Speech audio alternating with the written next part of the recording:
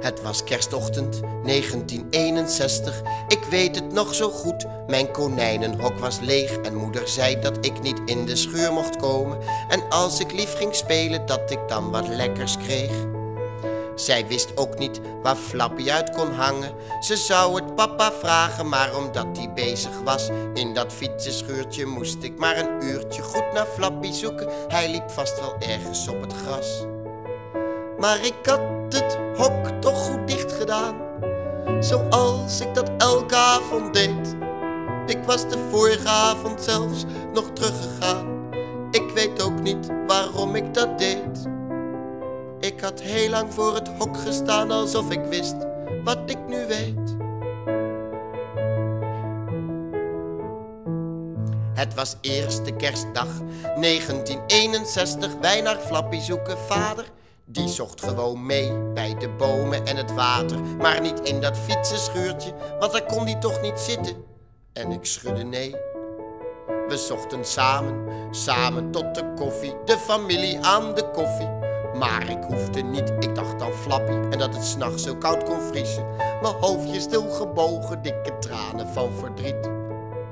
Want ik had het hok toch goed dicht gedaan, zoals ik dat elke avond deed.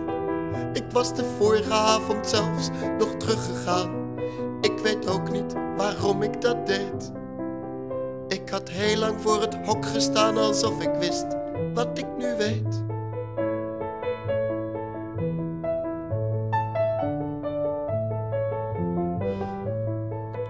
Het was eerste kerstdag 1961. Er werd luidruchtig gegeten, maar dat deed me niet zoveel. Ik dacht aan Flappy, mijn eigen kleine Flappy. Waar zou die lopen? Geen hap ging door mijn keel.